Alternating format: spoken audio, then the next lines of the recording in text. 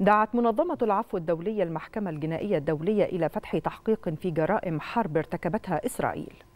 وأشارت المنظمة إلى أن ثلاث غارات جوية إسرائيلية في وسط قطاع غزة وجنوبه أدت إلى استشهاد 44 مدنيا فلسطينيا بينهم 32 طفلا في إبريل الماضي.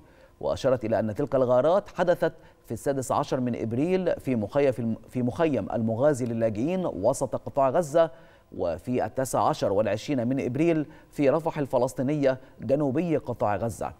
وأكدت العفو الدولية أن تحقيقها يوفر أدلة أساسية تشير إلى هجمات غير قانونية لجيش الاحتلال الإسرائيلي.